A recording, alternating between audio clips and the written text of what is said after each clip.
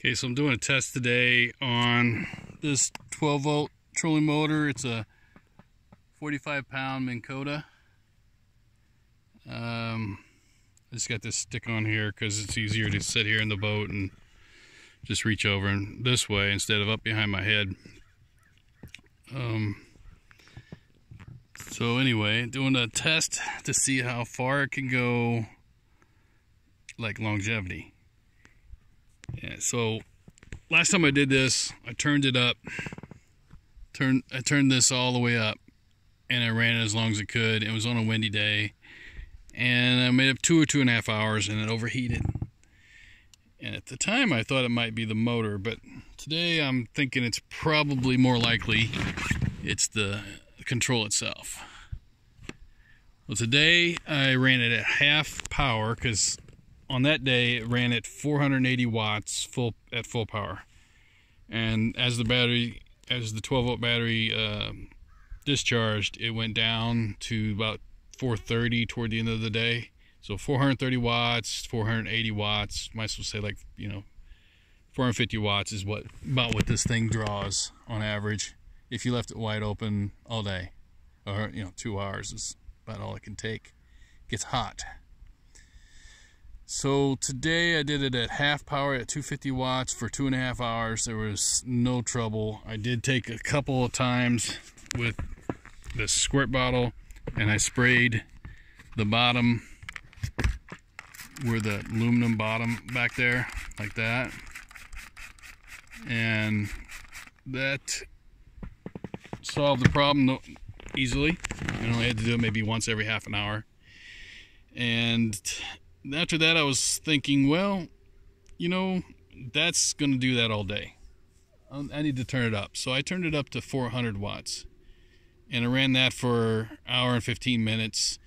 And both times, uh, after the 240 and the 400 watts, I pulled the motor up as soon as the end of the test, and the motor was cold. Uh, not even a little bit hot. And so anyway, I ran it 400 watts, and then I just ran it for 20 minutes at 500 watts. I'd spray it a lot more often, but other than that, it was fine. So, oh, uh, there is a difference. Uh, the other day, the the other time when I tested it, I was testing it with 12 volts. Today, I'm testing it with 18 volts. There are three of those golf cart batteries, and come up here. You know, it's a mess. Everything I do is a mess. So get you one of these meters. Uh, ignore that. I didn't reset that today.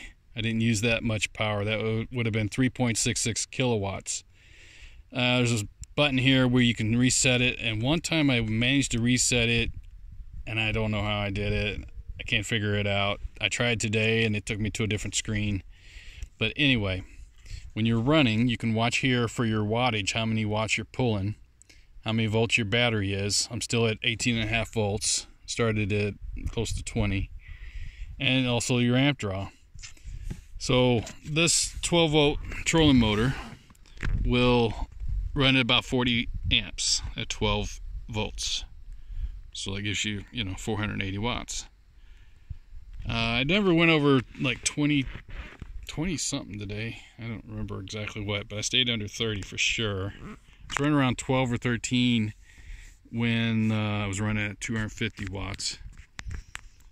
But I'm going to turn it on right now. But that's that's the whole gist of it. Like also with this, with 12 volts, you you cannot get over 480 watts. That's just the way it works. But with this at 18 volts, you can get six, seven, 800 watts if you dare. I don't dare. I did for a second. I just wanted to see if it would go up past 500, and sure enough, it was running at six or 700 watts, no problem. Um, I'm going to run mine at 500 watts or less, and that will be less current to do that, as I'll show you in a second. But that's one thing. You could go faster, and that's and and like like I said, the first test I did was 480 watts and then as the day went it got slower and slower and slower well with 18 volts you could set it for 500 watts, and if it started slowing down, you could bump it up and get 500 watts again. You could maintain 500 watts the whole time, no problem. Okay, I'm going to go ahead and turn it on.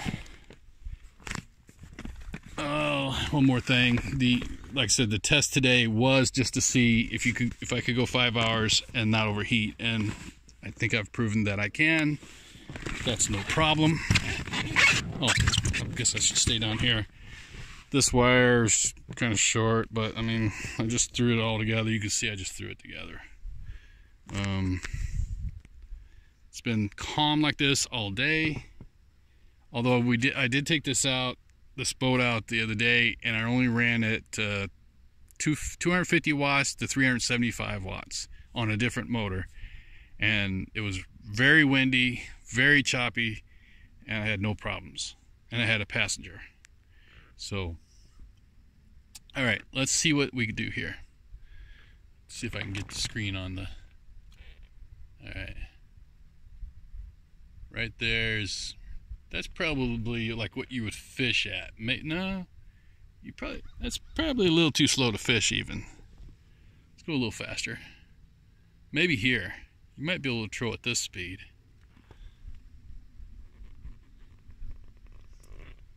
Seventy-five. Let's jump up to 100, 108. So 108. You can see what wake we're getting. All right, let's jump to, oh, there's 175. Okay. Kind of seeing it move at this point. When it's going slow, for some reason, the, the motor shakes. It steadies up a little bit when it um, when you go a little faster. But you can see the difference with that. That's actually like a minimum amount, 170 on a calm day will slowly get you somewhere. I'm going to bump it up again. Let's go to the 250 if I can get it there.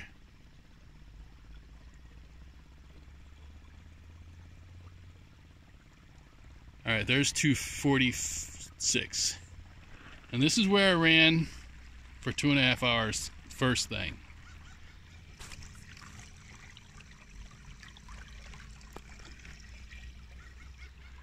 On a calm day, this is fine. I, on a windy day, it's it's probably not enough. So I'm going over to the shore so that I could kind of get a better reference on speed. With with, you know, you can look over to the land and kind of get a reference.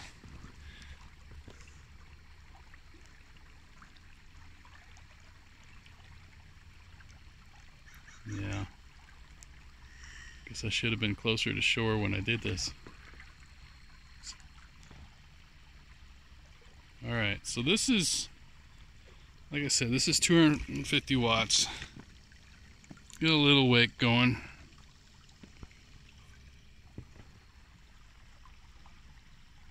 All right, I'm gonna jump it to 300. Well, that's that's already that's 350, and that's actually for me.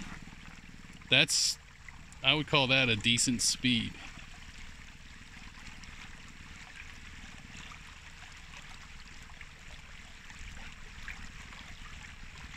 Like if you can get 350 to 400 watts out of your trolling motor without it overheating, that's all you need.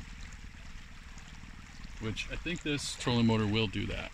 If you, I'm going to put a, um, a cooling manifold on it, a water manifold, and have a thermostat kick on when it gets too hot. All right, now we're going to bump up to, what is it going to land on? 405. So this is the where I was running it at the second part of the test. 400.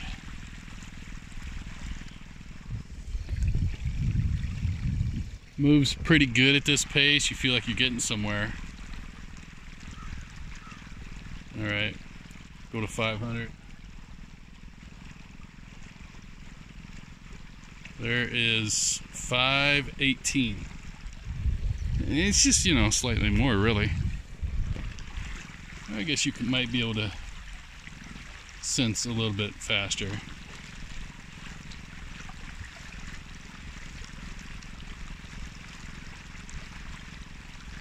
All right, now I'm gonna jump it up to what? What's gonna hit? There's five, 600. There's 700. Really not a lot of difference. And like I said, it only runs at 500 when you actually put 12 volts to it. So maybe six, 700 watts is not the smartest thing. Right here again is the 400. Like I said, it's a decent pace. I'm trying to hold my hand still.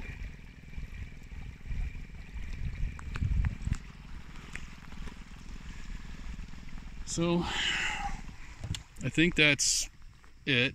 It's a successful test.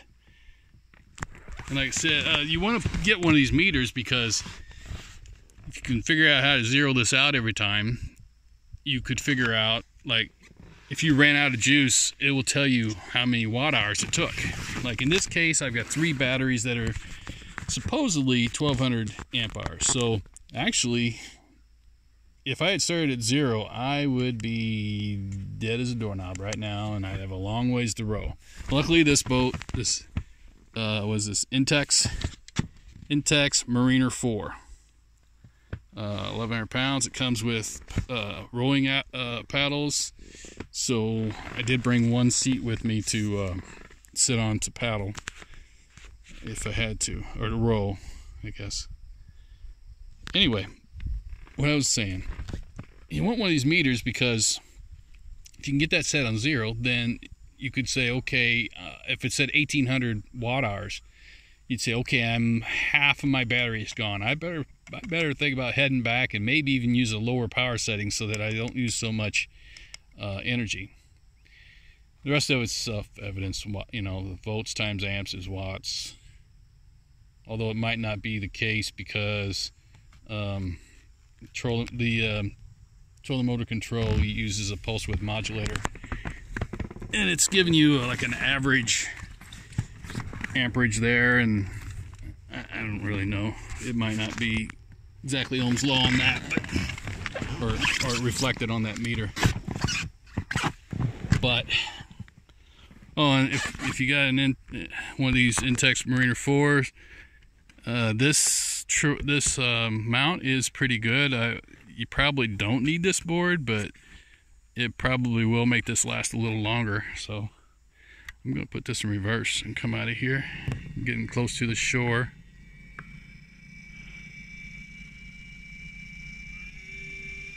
My other one I'm not able to use a reverse on because it doesn't this part doesn't lock. But um, yeah, let's get the nose out. Oop, went the wrong way. Okay. All right, now I'm at 100 and, 180 watts. And the mo and the trolling motor's just bouncing. Like I said, it doesn't run smooth at 180. Go up around 400 it'll it'll like it a lot better. There's 370 so there you have it. It's um, a 12 volt a 45 pound trolling motor should do the trick if you find a way to cool it even if it's just this in a pinch. Bring this even if you had a cooling system on your trolling motor you might want to bring that as a backup Otherwise, you're going to be reaching in, trying to splash it all the time. If, if you were, uh, or or you could set it at a real low setting, you know, real low power and go real slow, and it's not going to over, overheat. If you want to get any kind of power out of it, you're going to have to water cool it. I think. Or, I mean, you can turn it up full blast for two hours, and it will overheat to to the point it won't even run. But you can run it without coolant you know, for those two hours. But after that, if you want to keep going, you got to water cool it or maybe it's possible you could put a fan on that would do a better job because sometimes when you're going upstream or upwind, you're like I go that way, go upwind, and the wind's hitting me in the face. So I get good good air passage past this and it helps cool it. But when I turn around and come back and the wind's going with me, it gets like like there's no wind at all. And in that case, if you're pushing your motor and there's no wind going going past this, I mean, maybe you could put a fan on it. That that could help it, I suppose. Um, because when you're going downwind, a lot of times you don't feel any wind at, at all. Uh, what could I say about the Mariner 4? It's a really good it's a really good little boat. You should do some deep dive on it if you haven't already. Um, they're made very well. They they're very cheap or very inexpensive, put it that way. They're not cheap. They're I got this for 300 Canadian, 320 Canadian. And very happy with it. Uh, yeah, just do a deep dive, dive on. It. There's so many videos out there talking about this thing and modifications. I'm I'm excited about doing some modifications on the you know like you can put a hard uh, a floor on it. You can put uh, Bimini's. There's people put sails on them uh, with a mast and everything. So I mean, and you can put like bass chairs on them. It's crazy. But I just I've made a I made a redneck barrel boat and I've been riding it all summer and that was fun. But this is this goes through the water so much better, so much more efficiently. I mean it's I mean obviously it's gonna be better, but um, and barrel boat was fun but this I think is fun, more fun. This is next level for very little money. So that's and and it's easy to throw in the back of the truck and all that stuff. So I guess that's I guess that's the video. I'm going to get to the truck and put it away, I guess for today. But I am pleased. I went way out there in like 45 minutes, which normally takes me three hours or something like that on the barrel boat. I'll have to get me something to like like I've got this phone but I don't have service so um and I don't think it yeah, the app wouldn't work if, if I don't have service. So, need some way to uh, check my speed. There's ways. There's other gadgets that use satellites or whatever. GPS. So, someday I'll have a way to check the speed. I'll check different props, different motors, different battery configurations, all that stuff test it out, try to be a little more organized and scientific about it, and present the results. But that's it for today. Like I said, it's been like this all day. Very nice.